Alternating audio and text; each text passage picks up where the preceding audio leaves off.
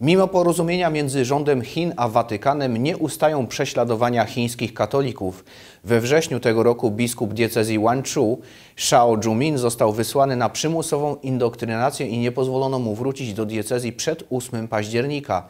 Chińskie władze chciały jednocześnie zapobiec upamiętnieniu poprzedniego duszpasterza tej diecezji, biskupa Lin Shili, którego rocznica śmierci przypadała 4 października. Biskup Shili spędził w obozach pracy 16 lat, a po zwolnieniu był pod nieustanną inwigilacją policji, mimo choroby i mimo faktu, że nie mógł się poruszać.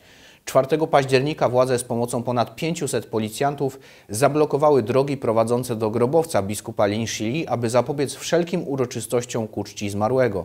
Jak stwierdzono, był nielegalnym biskupem, który nie został uznany przez rząd.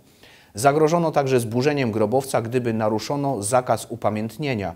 Podobnie jak jego poprzednik biskup Shao Jumin spotyka się z ciągłymi represjami ze strony władz komunistycznych. 9 listopada 2018 roku, dwa miesiące po podpisaniu porozumienia watykańsko-chińskiego, został porwany i poddany przymusowej indoktrynacji. Także poprzednio był kilkakrotnie aresztowany, a jego uwięzienie w roku 2017 trwało 7 miesięcy.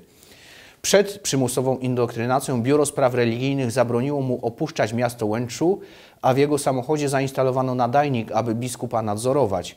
Komunistyczna Partia Chin także naciska go, by przyłączył się do Patriotycznego Stowarzyszenia Katolików Chińskich.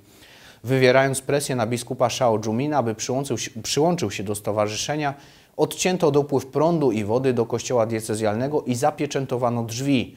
Mimo nacisków, oferty stanowiska i pomimo gruźb, biskup odmówił podpisania porozumienia.